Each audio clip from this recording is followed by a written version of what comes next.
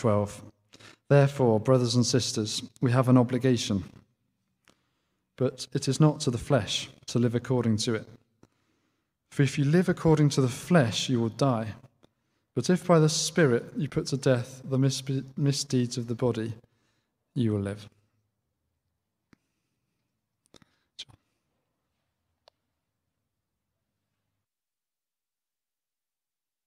I'll um, just pray uh, before we start. Father God, please speak to us now. Please speak to us by your Holy Spirit as we see the word Christ in your word, the Bible. And we pray that in the name of Jesus. Amen. Great. Um, we live in a debt laden society. Um, debt is everywhere. Uh, and apparently, the average amount of debt um, per household is 62 grand. Um, and apparently, two grand of that is credit card debt. And credit card debt, an average APR interest rate would be um, 25%. So if you've got £2,000 worth of credit card debt, you're going to get £500 added to that every year if you don't pay it off. And it's compound interest, so then the next 25% will be on top of that 2,500. We're heavily indebted. Um, and some of that, though, is, is benign debt. Like, it's, not too bad. So a mortgage is, is, you know, relatively manageable for a lot of people. Also, student loans. Might be people here with student loans or mortgages. Um, a student loan is quite low interest rate. It's relatively friendly debt. But lots of debt isn't friendly. Credit card debt for interest, in, in the, interest? I've got interest on the brain. Uh, for example, so if you've got a credit card debt, then it's going to hurt you in the long run. And credit card companies like to encourage that. It's very bad for people to be in credit card debt, but credit card companies will send around free credit cards, and that encourages us to use money we don't have. And debts, they, they grow. That idea of compound interest, the amount you owe grows over time, and debts demand repayment. That's the way debts work. The whole point of a debt is it's something you owe. And if you are indebted, then you will get letters through the post telling you you have to pay, and that will grow, and that demand will grow, and lots of people end up in a, in a spiral of debt, kind of captive, trapped in debt. Um, and that can lead to real serious consequences, real world con- consequences. Like, apparently, there are 50 possession orders a day. That's where people are told they need to leave the house they're living in, they're renting, because they're behind on their payments. Um, two properties are repossessed every day in the UK. That's people having to leave the home that they own because they're behind on their payments. And there's individual debt we've been talking about, also national debt. So developing countries, um, that could well not be politically correct. I'm sorry, I don't know what the current um, right way of referring to poorer countries is. Um, but in the country, in the, in the world, there are poorer countries who owe vast sums of money to wealthy countries, and it is, is iniquitous.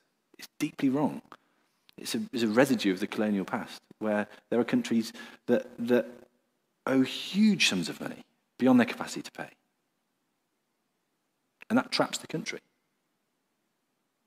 They're, it's, it's oppressive. But in our society here, debt is actually relatively relaxed compared to what it was in ancient times. So in ancient times, if you got in debt, you were in serious trouble. Because it was an agricultural society, your next payday is coming when the harvest comes in. And if you don't have any collateral, anything to offer in place of what you have, what will be taken as collateral will be, first of all, your clothes, your, the stuff you need to work. In the Bible, it talks about people having their cloaks taken as a pledge. But ultimately, people paid their debt with their own freedom. They would be enslaved, literally enslaved, because they, they were indebted. And the reason I'm talking about this is because when we think, say, do wrong things, when we live selfishly, curved in on ourselves, it is really destructive. We've talked about sin already. That's what the Bible refers to as sin. And the Bible refers to the, the destructive effect of sin in different ways. And one of the metaphors, the images, the consequences of sin is, is that of debt. When we think, when we say, when we do wrong things, we will pay for it. But, but that isn't static. Wrong hardens into habits. And those grow. They develop interest. And they can control us and oppress us, trap us. And that kind of thing can happen gradually. You might not notice it. but we end up in debt. And Paul here is speaking to Christians.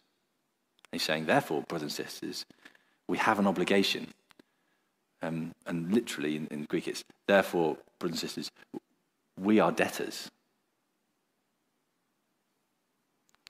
But he says, we are not debtors to the flesh. It's not to the flesh. He's been talking a lot about flesh. And what Paul is saying is that um, you, brothers and sisters, you Christians, you are not under that kind of debt. You are free. And the, the good news of the gospel is that we can be free from that debt of sin. Um, we prayed earlier the Lord's Prayer um, forgive us our sins. Again, there's two versions of that. There's the Matthew version and the Luke version. The Matthew version is actually forgive us our debts. And we pray that because we know that God has the power to forgive debts. He has paid it off. When Jesus died on the cross, he paid our debt. So if you're here this morning and you're aware of that burden of, of wrong, the moral debt, the spiritual debt, the, the, the sense that there's something you can't pay back, the message of the gospel is that Jesus can pay that. So turn to him, trust in him. That's good news. But Paul here is saying, he's not saying we're not debtors, actually. He's saying we're not debtors to the flesh. And the implication there is, actually, we are debtors to something, which is interesting, isn't it? And so, what are we debtors to? Like, what's going on here? Um, isn't that a bit scary? All, all, that we've been saying about debt and what it can do. Whoa. Well, not all debt is crushing. Some debt is actually enabling. So, I think of the things that I do for fun playing football, playing guitar. I think, wouldn't it be great to have a job that was just playing football? And people have that, don't they? They have the job of being a professional footballer. Um, and if that was my job, I would be paid. Um, let's say I'm paid at the start of the month. And I'm paid at the start of the month, and then I owe football because I've been paid already. And I owe football to the football club that I'm in. But at the moment, I pay to play football. I pay every weekend, well, not every weekend, um, but I pay every week football. And some people are paid to do it. That's amazing. They owe it, they owe football to their club, but that's a delight for them. And they're not just paid, they're not just earning football that they enjoy doing, but also they're supported to do it. So a team of physios, a team of um, management, a team of coaching. Some debts are positive, or like think in relational terms. You know, if you are um, in a family, you kind of owe your family stuff. And sometimes that can be really annoying, but also it can be wonderful. Yeah? Giving my family what they owe is actually a joy for me. It's wonderful. There's also a distinction, and this is all going to come together at some point, don't worry, um, between different kinds of debt. So if I give you a fiver, I lend it to you, then you owe me a fiver. If I give you a fiver to give to someone else, you're in debt, but to that other person from me. That makes sense. So we can be in debt to someone who's given us something, but we can also be in debt to someone else from someone else. So there's different kinds of debt. And an example of this, both of these, is think of a kid getting pocket money every week. And they're getting money from their parents. And then, when it's mum's birthday, the kid will buy a present for mummy out of the money that they've been given by mum and dad. Right? That is paying back. It's not an, an obligation, but it kind of is an obligation to buy a present. Um, and when their brother or sister has a birthday, they will owe them something, a birthday present, and they'll pay it from what their parents have given them again. So they're paying on to their brother or sister, and they're paying back to their mum or dad. And the reason I'm talking about this is because I want us to understand what it means, what Paul's saying here. He's saying we're debtors. What's he saying? It's like, I want you to imagine a room where you're living, a new door, just put a new door in a wall somewhere, and you open it, and inside it's like a cave of treasure. Okay? Look at that. Cave of treasure. Gold coins on the floor. The carpet is gold. There's rare and wonderful things. Um, can we have the next one? Yeah, why not? Another picture of a random treasure room. And the next one. Um, and I've put this next one on because I want you to think of this treasure room in where you live. And I want you to think of it not filled with like gold. I mean, I would love a room full of gold coins, don't get me wrong. But a treasure room for me, designed for me, would have really old, valuable books. It would have rare and beautiful guitars. It would have some really comfortable furniture in there. Um, it'd be, yeah, do that for you. Make your own treasure room here. And I'm not just talking about a little room, make it as large. As this can have annexes, yeah? And you can hear something in the background, and like it's, it's a pickup truck pouring more gold into this treasure room, okay? It's a treasure complex. And as you walk around it, there's some stuff that's clearly for you, but there's some stuff with other people's names on. And you know it's not for you because you don't like it, right? I see a Manchester United shirt in my treasure room. I'm like, that's not for me. That's for someone else. Yeah? Uh, or, you know, some of it, there's also got stuff you can't really do on your own, like a board game. You can't play a board game on your own. It's boring. And you've got this massive, and you realize that actually this stuff isn't just for you. It's you owe people those things. So I checked the label of the Manchester United football top, and it's got on it for Jay. So, all right, I need to give that to him. And actually, giving it to him is not like a, oh man, I've got to, it is a bit because it's Manchester United. Um, but also, it's like, I can see already he's going to he's gonna like it, he's going to smile a bit, and he'll be like, oh, thank you, John. It's going to be nice, okay? I'm paying on something I've been given. Uh, or let's say the board game, something that needs to be shared.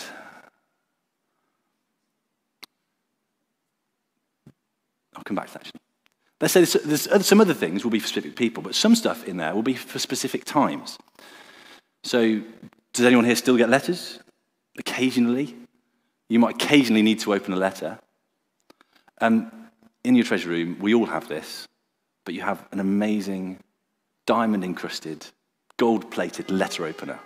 You hardly ever have to use it, but you know when you do need to use it, you have the ultimate letter, letter opener.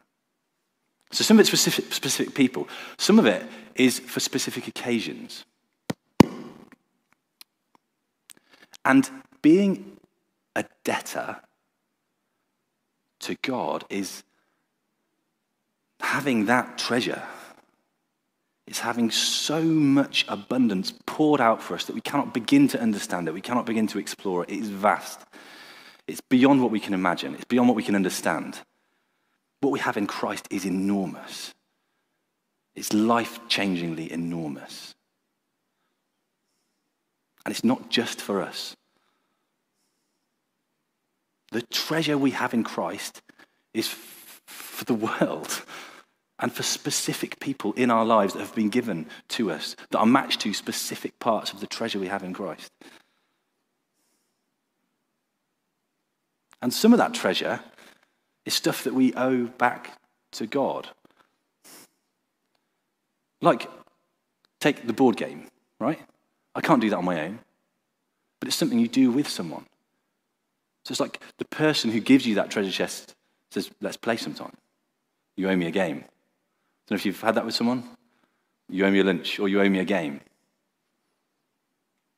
That's what prayer time is. So, being debtors to God is about getting to know the treasure room, the treasure annex, the treasure mansion, getting to know the people that God has put in our lives, getting to know the situations that God has put us in, and applying the right treasure to the right situation.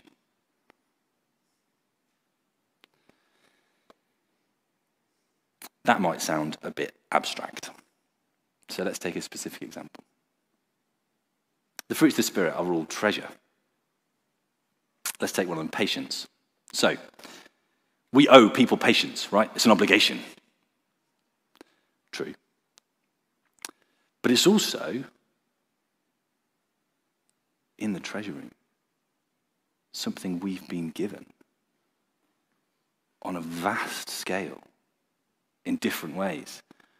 Think of the patience that God shows to us.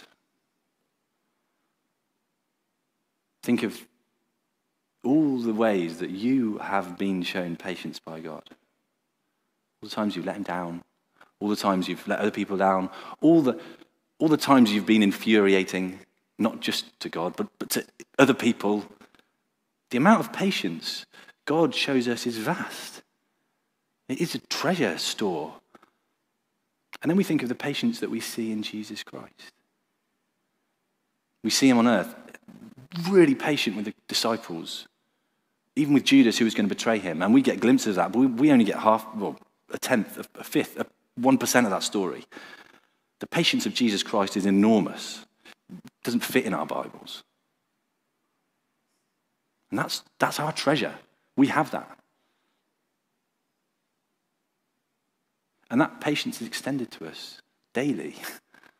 And it's shown to us daily in the person of Jesus Christ. And so, when we owe people patience, which we do, when you're at work and that same person is winding you up, when, when your kids are still singing that same song, when you are still working in an A&E ward that is chronically understaffed and you are feeling desperate. In those situations, actually knowing that treasure and knowing the situation, that's life changing. Because we, we have the resources. And we need to, to get to know the patience of God, experience it ourselves, see Jesus being patient, we need to see what the situation is, assess the situation as it is. Actually, what kind of patience does this need? What does patience look like here? Is this the kind of patience where I need to shut up? Or is this the patience where I need to keep on speaking? Is this the kind of patience where I need to be active and persevere? Or is this the kind of patience where I need to withdraw? Patience looks different in different circumstances. And we are given a treasure trove of patience. What are we, what are we going to do with it? And that's exciting to get to know the patience we've got in, in God, that we see in Jesus, and, and to get to know the, the situation and the people, right? Different people are going to require a different kind of patience. We are, we are debtors. We must not hoard our treasure. Think of that vast palace one option is to do what I've been describing. Another option is to hoard it, to hold on to it, to, to grasp it, to, to not even go into the treasure room. It's there in that door in your house that you imagined. But you're not going to go in there because, you know, life's too busy. You haven't got time. It's, you know, I, I, I, can, I can make do on my own anyway. Don't hoard your treasure. Go into that room, pick up the random stuff, and, and spend time in it and think, well, what's this for? Who's this for? What's the patience of God in Christ Jesus? Who's it for? How can I give it back? Where do I need to be patient with God in my life?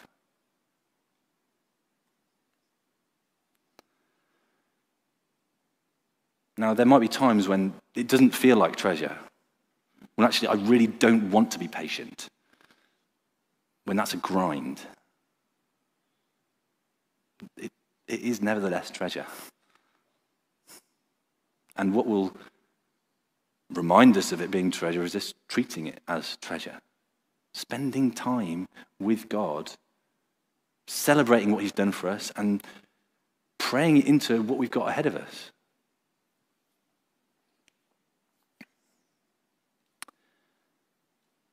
Don't hoard your treasure. We've seen there's um, two kinds of debt uh, that can drive your life. Um, there's debt to the flesh and, and this, this kind of debt that we have. And in, in that passage uh, in Romans 8, actually, if we could flick back to the passage, that'd be helpful. Um, Paul talks about life. He says, um, If you live according to the flesh, you'll die. But if by the Spirit you put to death the misdeeds of the body, you'll live. He's kind of got one image of being debtors. This other image is putting to death the misdeeds of the body by the Spirit. Putting to death the misdeeds of the body. Putting something to death is pretty decisive, right?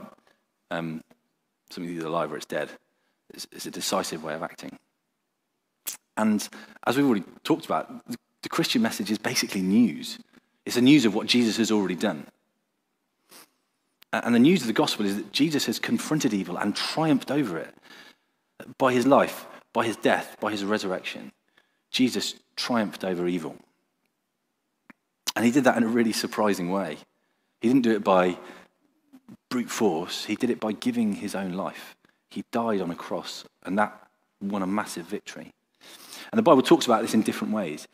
It talks about Jesus paying our penalty, dying the death we should have died. It talks about Jesus paying our debts, paying a ransom.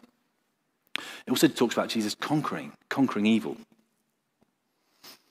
And when we are tempted to misdeeds of the body,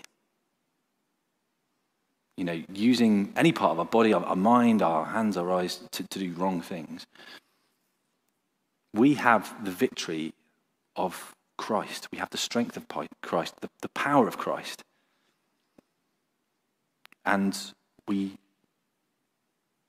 by that, put to death the misdeeds of the body.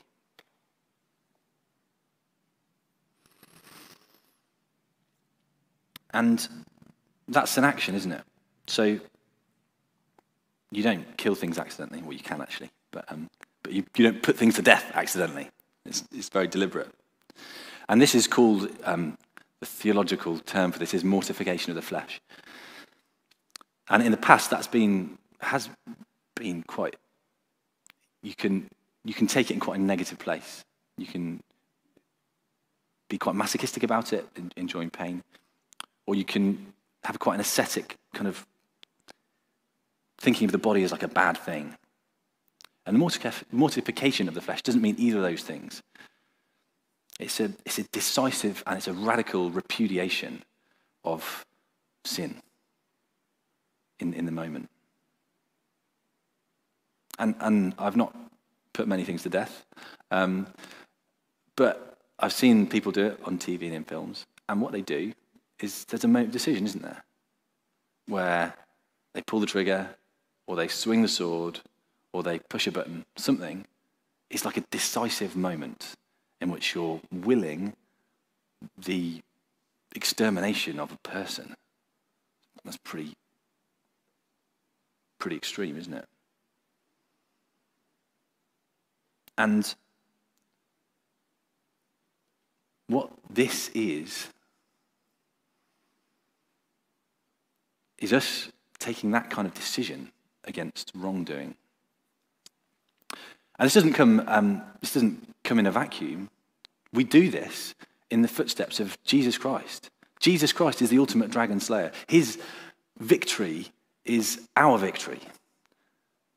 And as we put sin to death, we do it in his wake.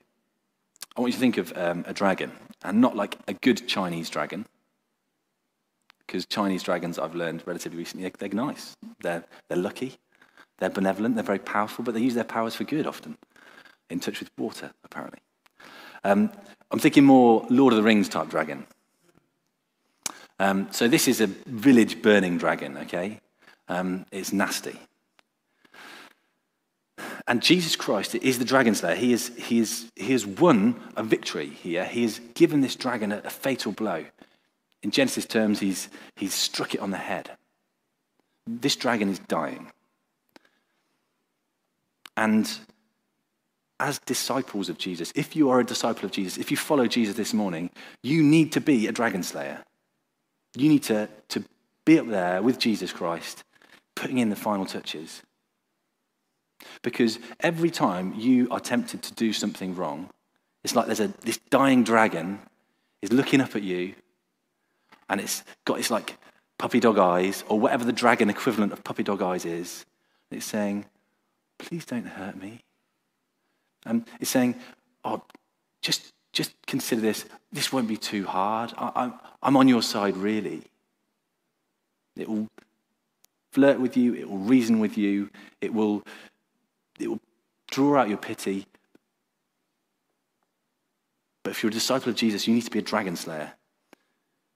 You cannot do anything other than, than slay that temptation. Because if you don't do that, if you don't drive the sword in, you're feeding it. And dragons, in this, they're not Chinese dragons. They're not on your side.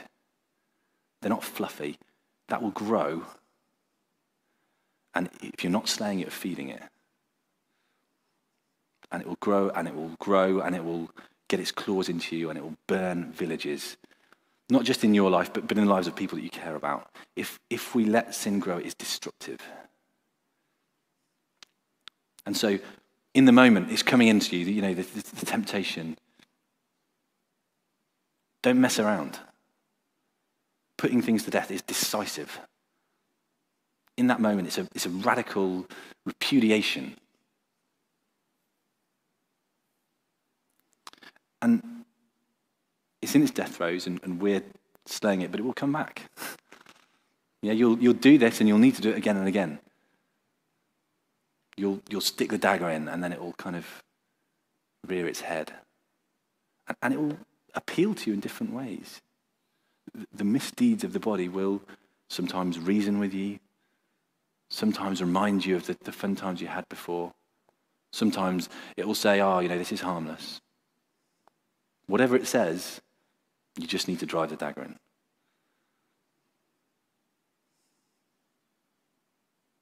And there may be people here, I'm sure there are, who will have had, fed specific misdeeds of the body over years. You've not been slaying, you've been feeding. And you can feel trapped in that situation. It can be a horrible situation to be in. And if you're there, then you need to know that in Jesus Christ, the victory is won, even if it doesn't feel like it now. That you still need to say no, and that we're, we're a team together, we're disciples together. So please talk to someone. There won't be any judgment because we're all in the same boat. We're all people who are living in the, in the footsteps of Jesus Christ, who, who, screw up and are deeply flawed and are sinners, but redeemed. So if this is striking a chord and you're thinking, man, I'm, I'm, I'm indebted and, I'm, and I'm, I've been feeding the dragon, please talk to someone. I'm happy to talk to you. Talk to someone you know. But please don't leave here without having addressed that.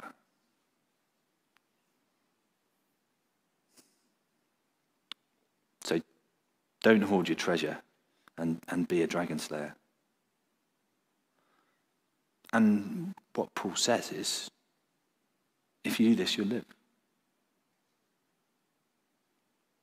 The reason we're going to be slaying dragons and distributing treasure left, right, and center is because that's life. That's what the good life is. Living in the treasure that Jesus has bought for us. Giving it back, giving it out, paying it back, paying it on. And that room is never going to be exhausted. And it's repeatedly gritting your teeth and sticking the dagger in. In that is life. Thank you so much for joining us online this morning. We're really hoping and praying that God spoke to you through what you heard. We meet in Bristol city centre and we'd love to meet you in person. So do come along. Um, we meet in Broadmead uh, and you can find the details of where we meet online. We're here as a church because we've been changed by the good news of Jesus Christ. 2,000 years ago, Jesus Christ came and he lived and he died and he rose again. And that changes everything. It redeems us from our brokenness and empowers us to change, to live transformed lives lives of love, lives of hope, lives of faith. We would love to meet you and we'd love to get to know you. Um, so do come along in person. Um, and if you want to get in touch beforehand, uh, then do get in touch using our email address and on our website. Um, we'd love to get in touch with you, um, hear who you are, what you're about, and we'd love to pray for you as well. Thank you.